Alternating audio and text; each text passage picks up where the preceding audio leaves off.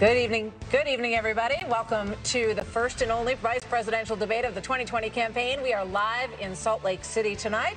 I'm Martha MacCallum. And I'm Bret Baier, live inside the debate hall at the University of Utah. The candidates are